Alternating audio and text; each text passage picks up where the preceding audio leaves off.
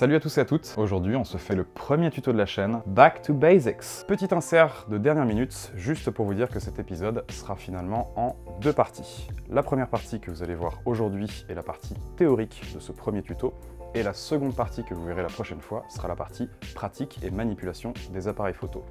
Bon tuto à vous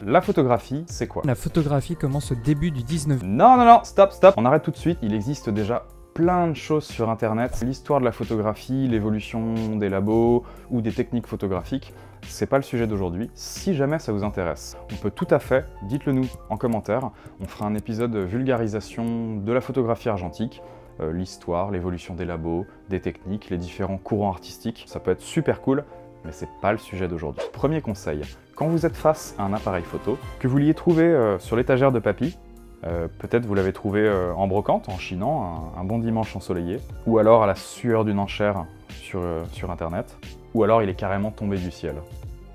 La première chose à faire, c'est de vous renseigner. Combien de fois, nous, en boutique, on voit des gens arriver avec des appareils photo, ne savent pas forcément s'en servir, sont persuadés peut-être qu'ils fonctionnent, ou en tout cas n'en savent rien, et vont se mettre à l'utiliser. Non, la première fois que vous avez un appareil photo entre les mains, le premier truc à faire, c'est de savoir s'il fonctionne correctement ou pas, avant même de charger une pellicule. Vous pouvez trouver sur internet, dans les livres, toutes les informations dont vous avez besoin. Évidemment, il y a forcément une marque, euh, un modèle, euh, un nom. Commencez par ça. C'est quoi le nom de l'appareil? Salut, tu t'appelles comment? Désolé, je suis pas intéressé. Dans la description de cette vidéo, je vais vous mettre 2-3 références de forums ou de sites internet qui déjà proposent énormément d'informations sur beaucoup beaucoup beaucoup d'appareils. Euh, il y en a un qui honnêtement fait quasiment l'unanimité sur internet, collection appareil photo. Vous allez voir, généralement vous avez juste à taper votre appareil photo et vous aurez quasiment toutes les informations nécessaires dessus. Le plus simple parfois, c'est même taper la référence, donc le nom de l'appareil. Vous allez trouver plein plein plein d'informations dessus, euh, des forums et autres, mais surtout, parfois, vous allez tomber sur le manuel d'instruction. Ok, So sorry guys, sometimes the instruction manual will be in English, but you can easily go to Google Translate and have a French version of your instruction manual. Ok manchmal stimmt es, es wird auf Deutsch sein. Tu le fais pas en japonais aussi? Non, parce que la plupart des appareils photo, ils ont quand même été fabriqués au Japon. Euh, là, tu veux faire le malin, faut assumer. Ok. Manual ga nihongo nara gambate kudasai. Watashi no accento de gomenasai. Bref, cela, ça va vous permettre de connaître par cœur votre nouvel ami. Euh, pouvoir l'utiliser correctement et aussi et surtout connaître son format. Et oui, petit 2, les formats. Il existe plein de formats différents d'appareils photo en fonction du format de pellicule. Aujourd'hui, c'est le premier tuto, donc on va se concentrer sur la base de la base. Nous allons faire du 35 mm. Vous savez tous ce que c'est, que vous l'ayez utilisé ou pas, vous l'avez déjà vu.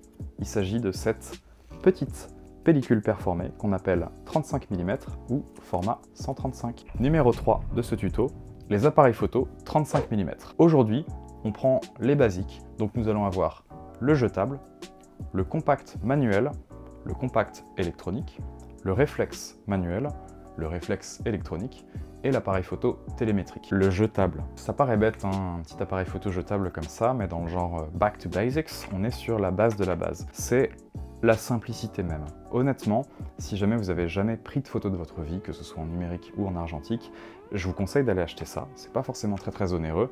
Ça va vous donner une vraie sensation de faire des photos.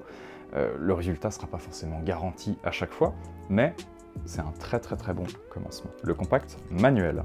On est sur un appareil photo très très simple, compact par rapport à sa prise en main et à sa taille, et manuel dans le sens où vous allez devoir armer manuellement, déclencher et faire vos réglages vous-même pour arriver à une photo correctement exposée. Le compact électronique. La grosse différence entre les appareils photo compacts manuels et électroniques, c'est tout simplement le fait que au niveau des réglages et surtout au niveau de la manipulation, vous allez pas du tout fonctionner de la même manière. Un appareil photo totalement électronique, bah, plus ou moins fait tout tout seul. Vous allez être sur des modes automatiques, donc très très très pratique si vous faites de la street photographie ou vous avez envie d'aller très très vite dans vos réglages.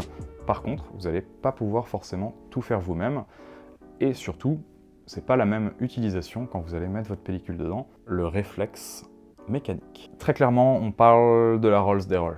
Évidemment, ça n'engage que moi, mais un appareil photo 35 mm full mécanique, c'est pour moi ce qu'il y a de mieux. Nous avons le réflexe électronique. Comme vous pouvez le voir, rien que dans le design, on voit très très bien qu'on se rapproche des numériques actuels. Et oui, on voit bien que l'ergonomie, la prise en main et dans le fonctionnement, c'est quasiment la même utilisation. Pour beaucoup, en tout cas pour les plus jeunes d'entre vous, très clairement, ce que je vais conseiller personnellement ou Nation Photo de manière générale pour une première utilisation ou un premier achat d'appareil photo argentique, ça va être ce genre de petit boîtier. L'appareil photo télémétrique. Euh, ça veut dire quoi télémétrique? Eh oui, ça diffère énormément des appareils photo qu'on a vus avant. Le compact, vous avez un viseur et vous avez soit un focusing zone, soit tout simplement une mise au point automatique. Donc pas trop de prise de tête là-dessus. Le réflexe, c'est simple, c'est un système de miroir et d'un prisme, donc vous voyez toujours ce que vous faites en réel avec votre bague de mise au point. Un appareil photo télémétrique n'a pas le même fonctionnement. Je vais vous reparler très précisément de comment l'utiliser. C'est ce qui se fait de mieux pour faire de la street photographie en termes de vitesse d'utilisation. Évidemment, encore une fois, cela demande d'avoir l'habitude ou la bonne prise en main. Cela ne convient pas à tout le monde, la plupart des gens préfèrent des réflexes parce qu'ils ont une visée directe de ce qui se font. Mais ça, c'est de la balle. On se retrouve très prochainement dans la deuxième partie de ce tuto où vous verrez enfin le côté technique et pratique, la manipulation des appareils photo, comment vérifier que votre appareil fonctionne bien et mettre une pellicule dedans. A très vite